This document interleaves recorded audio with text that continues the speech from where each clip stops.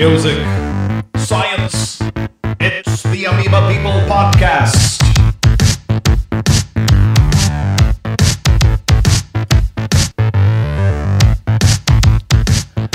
Greetings and welcome to the Amoeba People Podcast, the show where science and music collide, fortuitously forming a cosmic confection for your ears. My name is Ray Hedgepeth, the singer guitarist of the unquantifiably nerdy science rock band, The Amoeba People, and today's episode is all about the amazing Marie Tharp. No offense to Stan Lee fans, but the amazing Spider Man's got nothing on Marie Tharp, the cartographer who not only was the first to successfully map the ocean floor, but also by discovering a rift valley at the bottom of the Atlantic Ocean, caused a revolution in science and shifted our understanding away from the old view of a static, boring old ocean floor that never moved to a dynamic system whereby the entire crust of the planet is broken into various sized slabs or plates, which move as a result of the heat from Earth's molten interior. Yes, Marie's discovery led to the development of plate tectonic theory, which now, more than half a century later, is the foundation of Earth science. And in addition to our subject, the amazing Marie Tharp, our guest today is author Hali Felt, whose book, Soundings The Story of the Remarkable Woman Who Mapped the Ocean Floor, is the definitive biography of Marie Tharp, and such an incredible read. Sometimes science books can be, you know, difficult, or uh, they can be slow, or they can be hard to understand, but Soundings is swift, informative, exciting, and never, never once lost my attention. I loved, loved, loved this book, and so I hunted Hali Felt down. It, it, took some some sleuthing, but I eventually got a hold of her, and she agreed to be on the podcast and gave me this incredible interview, all about the process of how she went through getting all this incredible information about Marie Tharp because people know so little about her. So I can't wait to share that interview with you. We'll also be breaking down our song Girl Talk from our latest album, The Fossil Record, a song all about the amazing Marie Tharp, and whose title comes from the fact that when Marie first presented her idea to her male colleague that there was a rift valley at the bottom of the ocean floor, his comment was, This is nothing but girl talk. Oh, no, he didn't. Oh, yes, he did. So, um, and, and the idea for that song uh, came from an, a female earth science professor who contacted us and loved our song Continental Drift about Alfred Wegener, but asked if we were familiar with Marie's story, and we were not. So she sent some articles, and I read them, and I was immediately intrigued, and I could not believe that this amazing story was not better known. So we decided to write a song that would hopefully draw more attention to Marie's amazing story and the work that she did uh, that contributed to the development of plate tectonic theory. So let's jump right in and learn a bit more about the amazing Marie Tharp.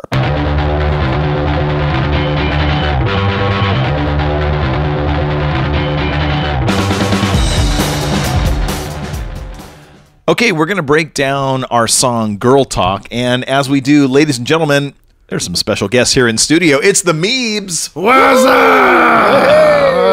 Dustin Jordan, our drummer, and Ryan Mosley, bass player of the Amoeba People. Say hi, guys. Wait, which one am I? I don't know who. Dustin Jordan here. No, that's me. Oh, you know that's I'm true. sorry. We've never had all three of us on the mics at once during a podcast, so we should introduce ourselves one at a time. What a crime. I know. So, uh, of course, you guys know I'm Ray Hedgepeth. Dustin I am Dustin Jordan, drummer of the Amoeba People. Thank you very much. and Mr. Mosley. I am Ryan Mosley, bass player of the Amoeba People. He's lying. No, I'm just kidding. Curse us. We caught him. We caught him. Foiled again. Man, this is pretty cool though. This is the first time we've actually broken down a song with all three of us here. Yeah. We've done it separately before, but not with all three of us. So What an three-way breakdown. opportunity for Yeah. the listeners. The seriously. three-way breakdown, Amoeba style. Lucky you guys. Yeah. Yes. This is uh this is uh, your lucky day, listener.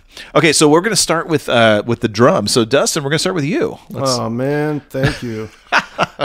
Such an honor. He's huh? honored. Big time.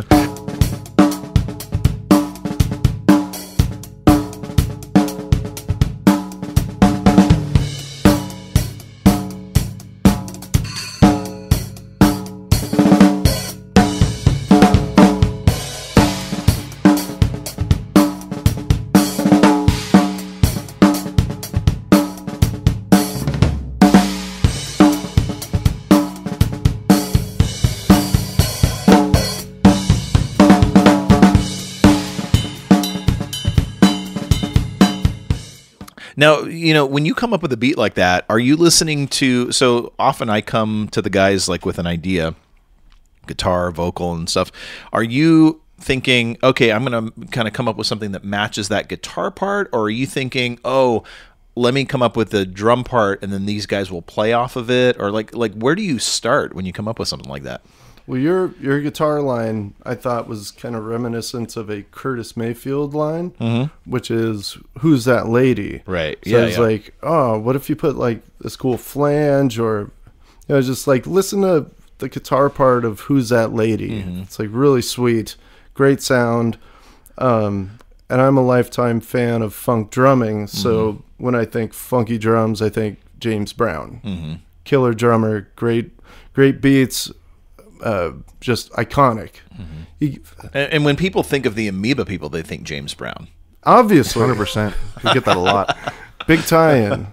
Yeah. But but I mean, but we do kind of genre hop. So yeah, I like, I mean, and we all love funk music. I mean, there's no question. So if you don't, there's something really wrong with you. I completely Absolutely. agree. Yeah. Yeah, and in mm-hmm. in the mythology of the amoeba people, as we're coming from the planet Crouton, I mean, if you came from another planet, you would probably think the greatest music on the planet is funk music, So- Yeah. or, or something along those lines. Odds are, yeah, definitely in favor of that conclusion. Well, speaking of bringing in the funk, uh, let's bring in Ryan Mosley on the bass here. Oh, yeah, Funkiest please. amoebs you know.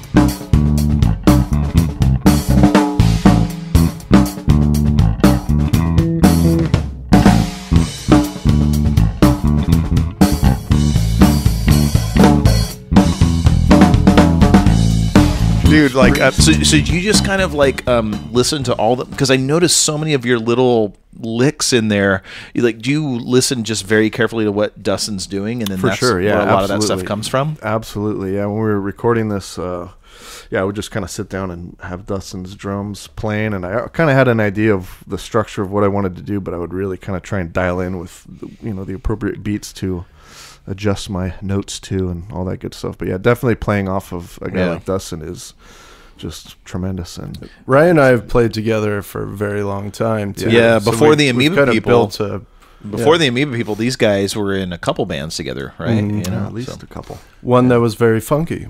oh okay Very funky. what was that band It was called the Future, Future Ancients. Ancients. okay yeah, Yeah. okay and now we're going to bring in uh, the percussion that uh, Dustin did along with the the bass and the drums which are already there but uh, we got some bongos right and some shakers Bongos and shakers. Yeah. Yeah. All right, let's check it out.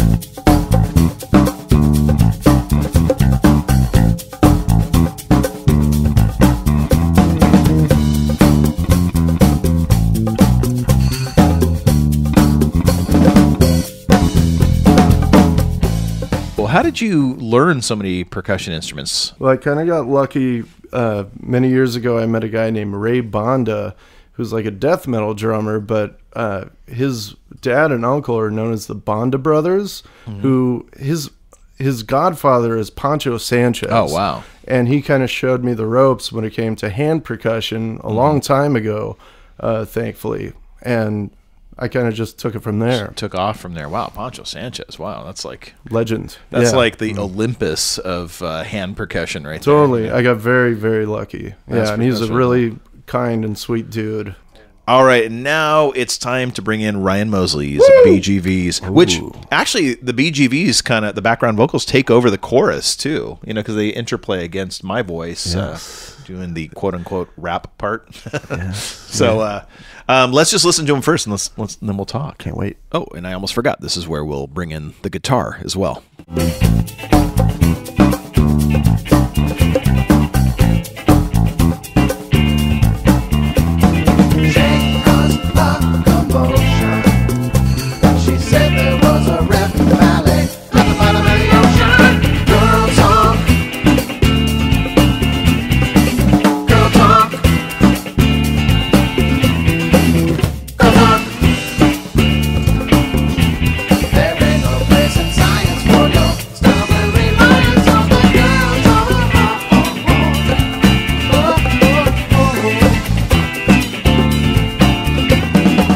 Being in here going, and you're like, because I was like,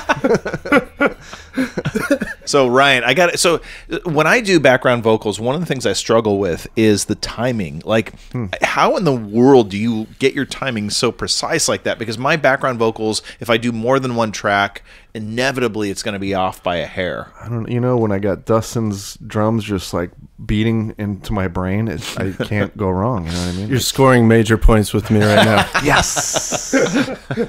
Oh, that's so sweet, you guys. Aw.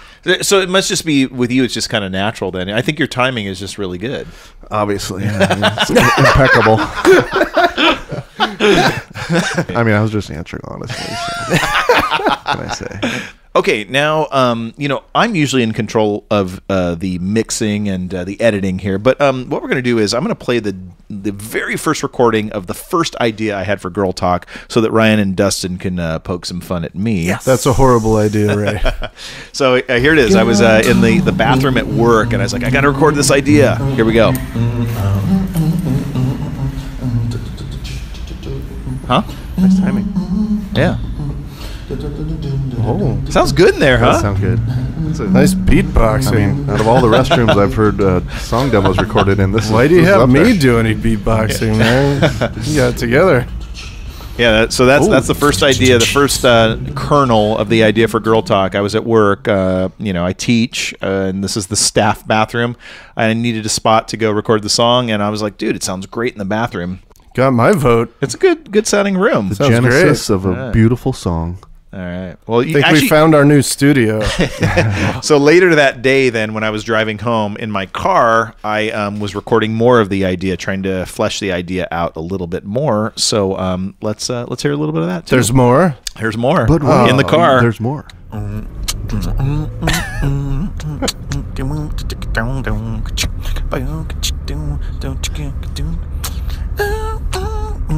Oh wow. So we already have the.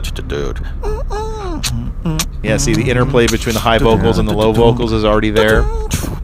Oh, that you came up with the little uh, hastening of the the accents there. Yeah. already.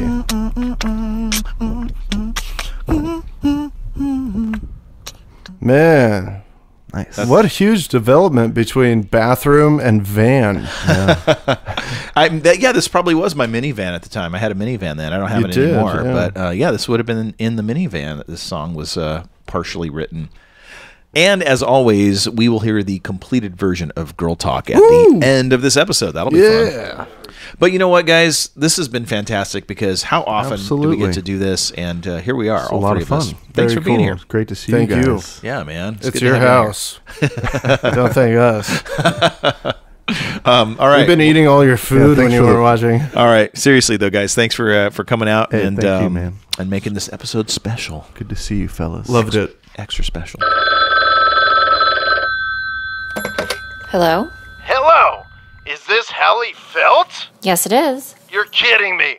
Author of Soundings, the story of the remarkable woman who mapped the ocean floor? That's me. Incredible. Pow, bang, boom, explosion. Okay, this is big shot Hollywood director Michael Bay. Oh, hi. Hali, I gotta tell ya, I loved your book so much that I want to make it into a movie, okay? Really? Yes, yes, yes, and yes. So here's my idea, okay? Marie Tharp, okay, she's slaving away, mapping the ocean floor, all right? She catches wind of a research vessel that's about to set sail with the goal of gathering the very data that she's going to need to complete her map of the ocean floor. Pow! Boom! Crash! Okay? So she disguises herself as a crew member because women aren't allowed on boats in those days due to an ancient superstition. And when they're about to turn back, okay, she demands that Bruce, her old pal, take the ship to the middle of the Atlantic Ocean where she's convinced there's a rift valley, okay? That she yanks off her wig and he sees that it's Marie, okay? And he's simultaneously angered but also infatuated, okay? And in her hand, she's holding a thermal detonator! I'll blow this entire vessel to smithereens! Bruce, he calls her bluff. He says, go ahead, set off the thermal detonator! Okay? But then she does, and then the research vessel is blown to smithereens. Pow! Boom! Crash! The helicopter descends, into the flaming rubble of the vessel and drops a rope ladder. Um, yeah, that sounds interesting, but I'll need to get back to you on that. Bye.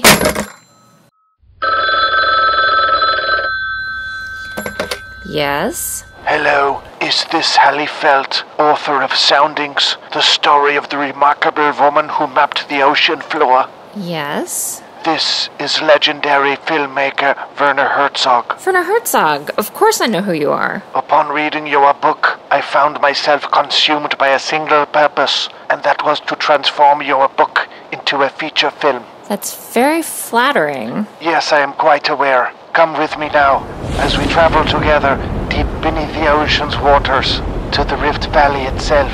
The camera slips down into the abyss of that crevasse, and my unmistakable narration begins. We stare into the vacant, gaping maw of the Rift Valley. It is blind and mute to our joys and sufferings. It moves by nature's hand, unaware that we are even here, with our loves, our desires, our craving for more knowledge about its implications. It simply asserts itself, speaking in a physical language we may never fully understand. Uh, I'm flattered, but I'm going to have to think about it. Nonsense. Wait till you see what happens in the third act.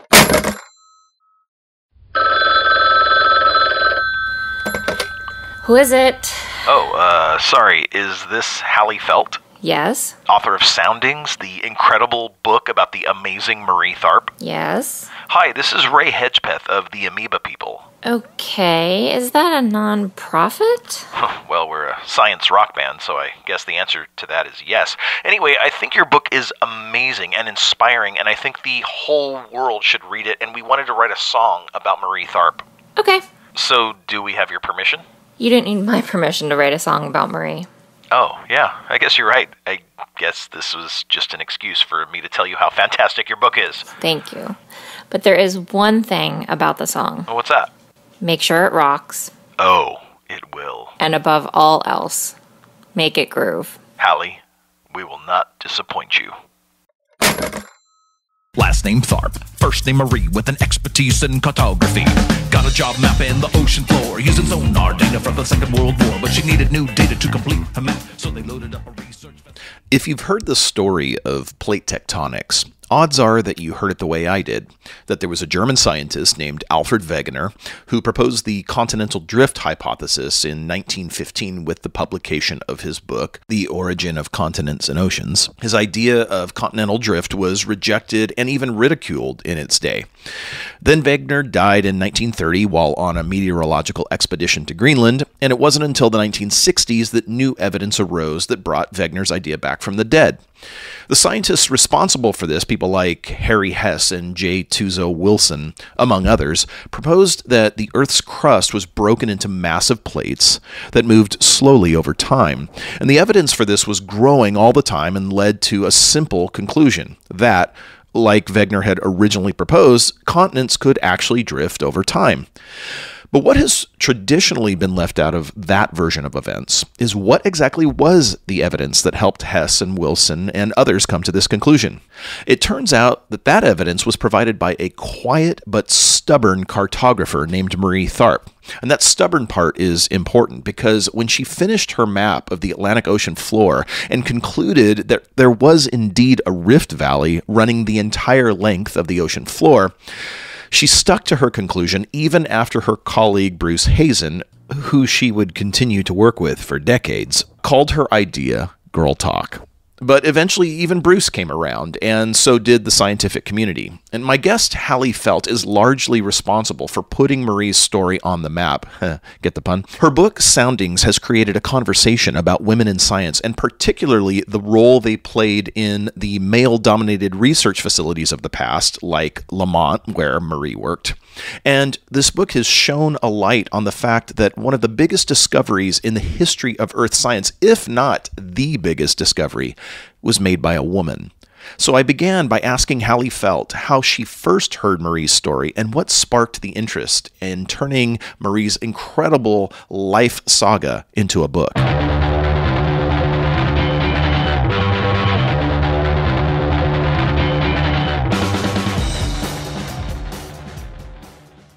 So I was in graduate school when I read about Marie in the New York Times. Um, it was my first year.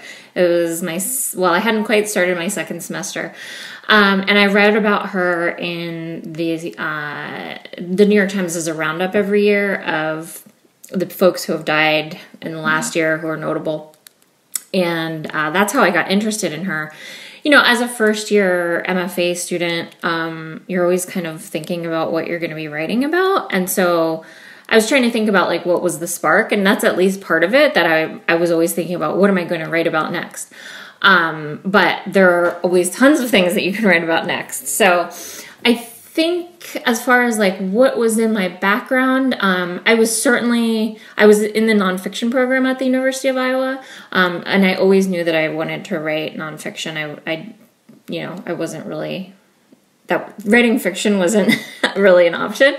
Um, so it was certainly that, and even though it was a true story, um, there were sort of these like the like just thinking about the ocean floor was fantastical, right? Like you can't really i mean you can like if you're talking about outer space um, get much further from our everyday experience than the ocean floor.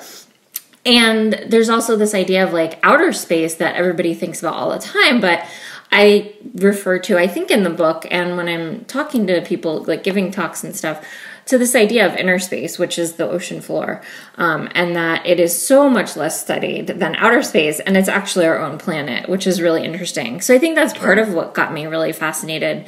And then her as a character, um, just she just seemed really compelling, and there was something about someone who like you know, I'd never learned about her in school and I'd never thought about mapping the ocean floor before and I had no idea that she was the person who basically led to her her discoveries were what led to the ideas of plate tectonics.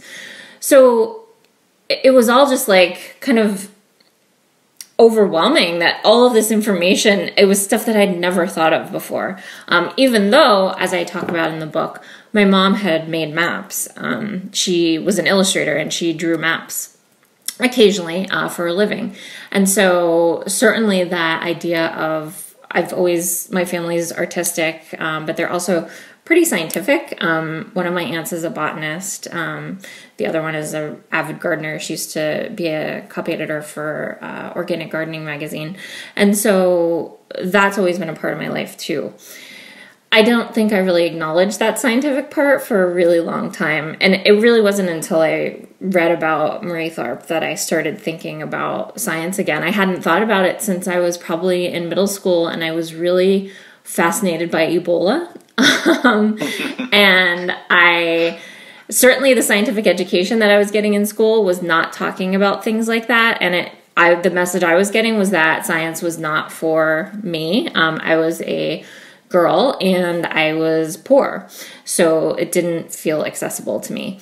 Um, but reading on my own books like The Hot Zone and Laurie Garrett's, like I was the middle schooler who was reading Laurie Garrett's The Coming Plague, which is like three inches thick and was fascinated by it. But at the same time, if somebody asked me if I was into science, I would have said no because I was thinking in a formal way in school. And if you've listened to other episodes of this podcast, whether we've been talking to scientists or artists, or in this case, an author, the same theme keeps popping up. This idea of, you know, uh, I wasn't necessarily a science person, but then I was drawn to this particular aspect. And I'm really hoping myself, even as an educator, that we can start uh, breaking free of this concept uh, that seems to kind of be enmeshed in our schools, which is there are science people and then there are not science people. They're the rest of us, right? But the truth is, yeah, there's going to be the science people who are scientists who do that work. But this idea that you know the population at large can't understand our place in the universe or at least have questions about it that they that want to know or, or have answered or at least explore. Let's let's get rid of that. I think that is really the key to what it what happened here with hali. And one of the fantastic things about this book is the level of detail. But it got me wondering since people knew so little about marie especially prior to hali's book how in the world was hali able to gather all this information where in the world did it come from I actually I was studying at the University of Iowa, and there happened to be a very small collection of papers. Uh, I forget what the name of the collection was called, but Bruce Heezen grew up in Moline, Iowa. And so, uh, someone who had known him uh, in K through 12 had donated this uh, collection of papers to the University of Iowa, which was really strange. Um, so, I took a look at those. Um, and so, at first, it was like, okay, well, there's not a lot of information here. And I started my. Um, you know, I had a big piece of butcher paper on my wall, and I was trying to sort of get a good timeline uh, of her life. That's really what I usually try to do when I'm working on something and it was really really sparse and so i thought well i'm going to write a kids book that's maybe sort of fictionalized about her because i can't find the information. Um, at some point within that like winter spring of 2007 i discovered that her papers so it's called the heezen tharp collection at the library of congress um, were at the library of congress. And so i decided to go there that summer.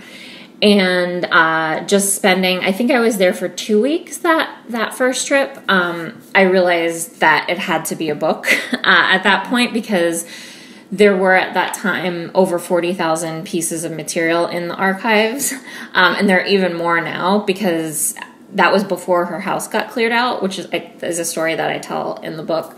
Um, so going there just totally was transformative because not only was I blown away by how much material there was, but I also learned from talking to the librarians there that no one else had, no other researcher had really gone through the collection. That it was, it had really over the past few years just come to them. And it was still, I think I talk about this in the book, it was still totally unorganized. So I was going through like liquor store boxes that had come mm-hmm. directly from Marie Tharp's house, which was just like the most amazing experience, but also in a way it was good because i was not trained as an archivist um, and that was not the kind of research i was used to doing. I was more used to interviewing people um, and doing like database research. So i taught myself basically and um, and it was really fun. It was like kind of going on a treasure hunt because every box that i found i had no idea what i was going to find. Um, so that's really when i knew that i had a book and that a book was po- even possible. Before that, it, there just wouldn't have been enough information to tell a true story in the way that um, I was trained as you know I was trained as a journalist. So in in the way that I would have wanted to tell it. Um, so I really needed that stuff at the Library of Congress for sure. That's where the I think that was the turning point. Okay, so she's trained as an author, as a journalist, but you can see what's happening here. It's essentially the work of a scientist. Maybe I'm, mm, you know, making a stretch here, but the fact is she's gathering her research, she's gathering data, she's doing the preliminary work that will allow her to you know, tell the story of Marie the way that scientists gather information on a particular topic before they explore it, perhaps. They figure out what they can before they go do a study on it, uh, just like we in the amoeba people. Oh gosh, I know I'm throwing us into the mix as if we're even on the same level as an incredible author like Hali or the scientists that do this work. But but we we dig in and we, we learn this stuff and then we try to emerge with a catchy little tune that kids will want to sing along to and even college students it turns out Okay, but I digress. At some point, it had to have occurred to Hali that she was on to an incredible story here, a big story. And I, I asked her about that moment where she that that realization just kind of settled upon her that oh, this is a big deal. I was so. I mean, she she's. It was like getting to go. I, I I don't know what to compare it to, but like I don't know, like Marie Curie. Like if you if you got to go through boxes of stuff that had just been taken out of Marie Curie's house, like everything was exciting. Like receipts were exciting, and I tell my students that when they're go, when they're doing archival research, like you might not think that this particular piece of information is important. Uh, but receipts actually turned out to be super important to me because they allowed me to figure out dates of things like okay so she was in uh, she was in manhattan on this particular day or she was Yeah. uh, in France or whatever, or she got the dog groomed. Like that stuff actually turns out to be really important. And I found it fascinating that she mentioned Marie Curie in the same breath as Marie Tharp because uh, I noticed that Hali, in going through all these receipts and these little details, she is essentially Marie's curator. That's that's as good as the jokes are going to get on this episode. I'm really sorry, but I had to share it. to be able to experience that. And I was young enough to have the stamina uh, to just work all day at the Library of Congress, go home, sleep, and then c- come back and work all day long again. It was pretty clear that no one else was really interested in this story, and um, it it felt like I had to do. I mean, certainly I could have not done it, but it felt like I had to do it, and I wanted to do it. Um, and that is so amazing and and that whole process of of you know kind of digging into these archives and and kind of creating a story almost from scratch of course the story is there but to find all the strands and the components it reminded me of the engineers at Lamont where uh, where Marie Tharp worked and uh, and I asked her if she felt any kinship with those engineers how they were they were building scientific instruments from scratch. You know they knew what they wanted to study but the the mechanism of how to get that information they had to develop on their own. And of course I saw a parallel and Hali maybe didn't see a parallel with the engineers so much as she did with Marie. Um, I don't think I felt a kinship with the like the engineers and machinists at Lamont. Uh, I was certainly really interested in what they were doing because, of course, like it's fascinating to think about. Like, so a no, a whole new branch of of science is sort of being opened up, and of course, you have to develop new tools. Um, and I think it's it's I was uh, the Immortal Life of Henrietta Lacks had come out in 2010 or 20, 2009 I can't remember, um, but I was really interested in the way that uh, Rebecca Skloot talked about the those first attempts to create a cell culture. And um, so that felt really similar to what some of these uh, folks were doing in trying to develop tools to study the ocean floor. Um, I, I didn't feel a sense of kinship with them per se. Um, I felt I, I certainly felt a sense of kinship with Marie because, uh, you know, basically she was my ocean floor, right? Like she was trying to study something that she would never be able to interact with firsthand, uh, using sparse data, and she had to figure out what to do in the places where she didn't have data. And so, obviously, that's why the book. Well, I hope obviously that's why the book is called Soundings. Um, dang best metaphor ever Marie Tharp was her ocean floor oh my god. That's incredible. I mean it just keeps getting deeper and deeper. Man i'm really sorry. The puns keep getting worse and worse and uh, that that part's on me. But one thing I really wanted to know after reading the book, you know, Marie was such a mysterious, enigmatic, kind of quiet person in real life. And and I wanted to know how Hali got her personality down on the page so well. I'm not entirely sure how I did it. I mean, it was hard. Um, I obviously couldn't speak to her, so I had to rely on other people's question, the other question, the questions that other people had asked her, um, either oral historians or other journalists, because there were a few people who uh, wanted to write books about her, and and also Bruce, and ended up not doing that. So, luckily, I had their transcripts, but it's also frustrating to be in that position as a writer to not be able to ask your own questions. Um, her personality was, I think, really difficult to get on the page. Um, and, you know, the people who knew her do say that I did a really good job of that. So I feel thankful that they were able to give me that feedback. Um, but she's she's really complicated, right? She's somebody who in a certain way seems to fade into the background, but at the same time did manage to peek through history, right? And and you know, obviously she was notable and memorable enough for the New York Times to include her um, in in their list of people who had died in 2006. So there was something about her that people were interested by. Um, I think I just tried to pick out what seemed to be the most pivotal moments in her life and get those on the page and get you know a pretty good um, depiction of the way that she talked about those moments also on the page.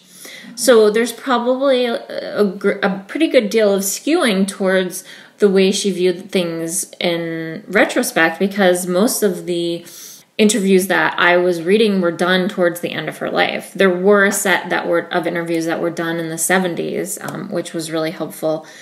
But most of them were from the end of her life where she was getting a little bit more um, confidence not the word she she was i think wanting more recognition for her work she was understanding that if she didn't go out there and sort of do her own PR campaign. No one was going to do it for her. No one was going to knock on her door and say, Marie, we know you've done something amazing that deserves an incredible amount of recognition and we want to give it to you. She had to, she had to go to the Library of Congress and ask them if they wanted her papers.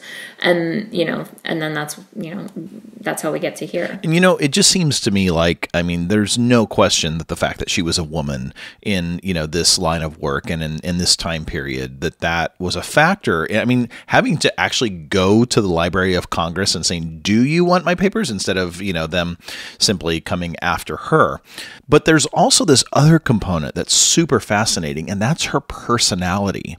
And uh, and Hali talked a bit about. Um, even reading transcripts of interviews, uh, how Marie was this quiet, kind of almost distant person that maybe also, in addition to her being a woman, made it even less easy for people to reach out to her. Certainly. So if you go and read these interviews with her, she's often not using any sort of words that have to do with emotions. Like she'll she she very rarely said and I don't know if ever, you know, I would have to go back and look. That's it's really interesting.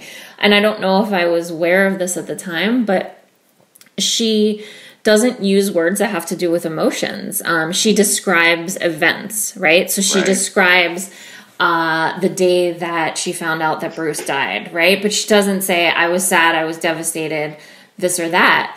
And so I there you know i didn't ever want to say especially in the sections where i'm hypothesizing um, about what happened in a particular moment i never wanted to say like in in first person i am thinking this or i am feeling this. Um, so it was really difficult to to to show exactly what was happening and convey a sense of emotion uh, about the events that happened in her life whilst not sort of assuming too much basically. You know she was very humble but at the same time i think was extremely confident in her work and its importance. Um so yeah to get the complexity of that kind of person on the page is, is really hard especially without seeming contradictory right? Without seeming like oh well she uh she was an important person who felt like uh, the ocean floor needed to be mapped but at the same time she was willing to let this man sort of be the public face of all the work.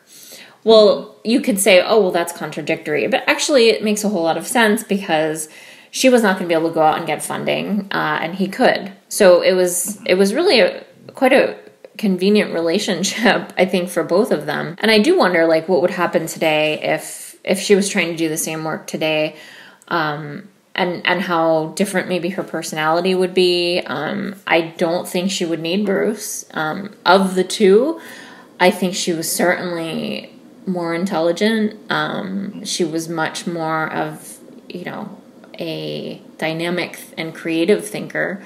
Uh, than he was, and I don't think we would remember him at all if not for her. to be frank, Dang, throwing some shade at Bruce Hazen. Uh, you know, I should take this moment to note that in the song we refer to him as Bruce Hazen, and we had actually gone back and forth a number of times. Uh, there was a line in the song that said um, she showed it, meaning the map. She showed the map to her colleague Bruce Hazen. He said, Marie, how could you be so brazen? But uh, then we were watching a bunch of YouTube videos, and as I was, you know, kind of refining the lyrics, most of the pronunciations were Hazen. So I changed it to Hazen from Hazen. And then I come to find out from Hali that one of her life goals is to make sure that people know his name was pronounced Hazen and not Heason. Uh, so what can you do, right? Anyway, now let's not forget that uh, Jacques Cousteau came along and uh, decided uh, he wanted to uh, see if Marie's map actually accurately mapped the ocean floor. And uh, Hali talked a little bit about that as well. let's say the popular narrative about Marie Tharp um, is that there seemed to be the need for uh, validation of her work by a man. Um, and that makes me really sad. um, and that's that's kind of that little tidbit is kind of like her story in a really condensed form, right? That like she was, you know, doing her work and was confident in it and knew she was right, and then you know a guy has to come along and validate it. Mm-hmm. So you know, on one hand, I think it's really cool. On another hand, I think it's really sad. Now, I'm going to be totally selfish here and say, for me, it was super cool to discover the part about Jacques Cousteau, uh, just simply because in the song it gave us another direction to go in. And of course, we can bring in our friend Todd Foe, who has this amazing French accent, to play the part of Jacques Cousteau. And by the way, he is also our Jacques Cousteau that you see in our music video. And I should mention that it's our friend Genevieve Walther who plays Marie Tharp in that video, and she's fantastic. And uh, with that, our episode is about to come to a close. And of course, I did ask Hali if she would introduce our song Girl Talk, and she did us the honor of doing so. But before we go there, I want to say go and buy her book, Soundings. Like me, you will curl up and you will read it from cover to cover because of the way that she perfectly balances the personal and the scientific. You know, she tells Marie's story, but also there's this context of one of the greatest discoveries in modern science. So I promise you, you will love this book. If you don't, um, of course, there's something wrong with you, but also um, don't complain to Hali. Come to me and complain to me, and then I will convince you why you're wrong. You know, I mean, the, the entire purpose of Hali's book is to get more people aware of Marie Tharp, just like the purpose of this episode is to do the same thing, as well as the purpose of our song Girl Talk is to get more people talking about Marie Tharp, and by extension, not only recognizing her contribution to plate tectonics, but also encouraging girls out there hey, science is for you. We need you. Hi, this is Hali Felt, author of Soundings, the story of the remarkable woman who mapped the ocean floor, and this is Girl Talk by the Amoeba People.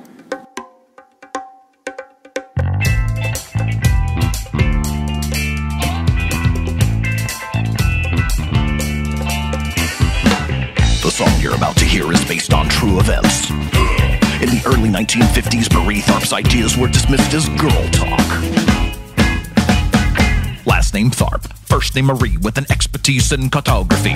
Got a job mapping the ocean floor using sonar data from the Second World War, but she needed new data to complete her map, so they loaded up a research vessel ASAP. They sailed out on the sea, but they didn't didn't let women on the research vessel, so with map making tools, Marie did wrestle. She showed it to a colleague, Bruce Heason. He said, Marie, you got no rhyme or reason. They caused a commotion when she said there was a rift valley at the bottom of the ocean. Girl talk, That's what the man said. Yeah, that's what the man said. He called it girl talk, rejected like that. In two seconds flat, he called it girl talk. a valley with a rift applies continental drift. There ain't no place in science for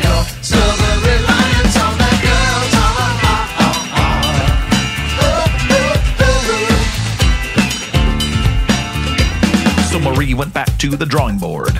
Literally, she had a drawing board. She checked it once and she checked it twice. To be triple sure, she checked it thrice. She took it back and she showed it to Bruce. But this time, he called the truce. He shook his head. He said, Marie, Marie, I think I owe you an apology. Your map is right, yes, I must admit. But I'm worried that this map implies continental drift. They published it anyway, even though they knew the scientists were bound to say what the men said. Yeah, that's what the men said. They called it Girl talk, rejected like that. In two seconds flat, they called it girl talk. a valley with a rift applies continental drift. There ain't no place in science for your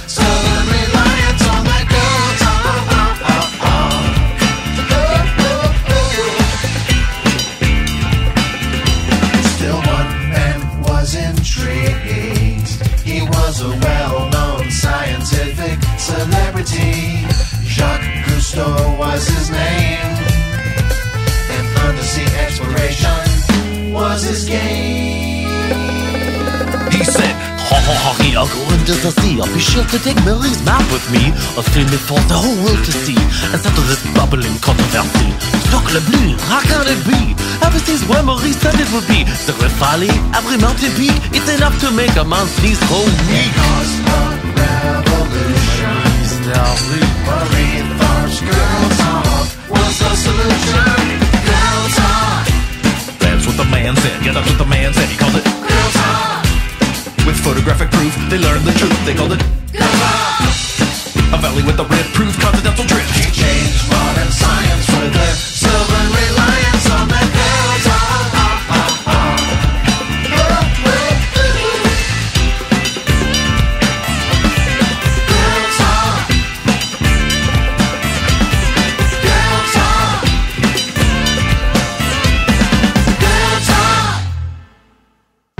Thank you so much for listening to the Amoeba People podcast. If you like our podcast, please give us a rating and a review on Apple Podcasts or Stitcher or wherever you get your podcasts. Uh, if you want to see our video for Girl Talk, it's up on our YouTube page, the Amoeba People YouTube page.